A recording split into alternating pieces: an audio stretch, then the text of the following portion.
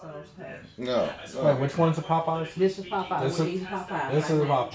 This is Popeyes. All right. uh, potentially affect the debate surrounding impeachment one way or the other. Well, Huh. what the public doesn't know, and what John will disagree with me on, Okay. is how much uh, going to articles of That's pretty impeachment good. as opposed to an Where's the impeachment inquiry makes a Right difference in what you're going to get from these. You uh, can't do that.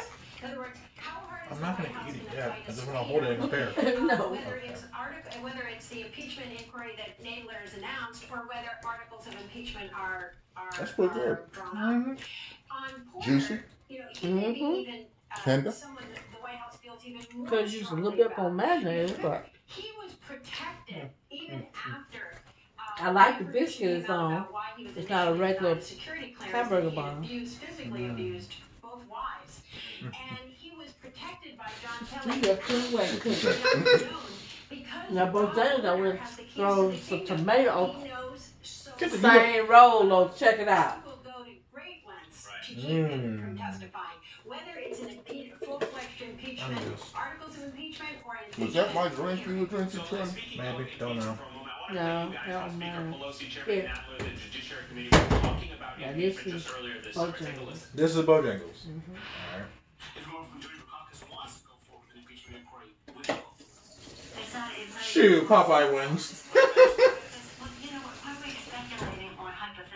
Definitely Popeye. That's two for Popeyes.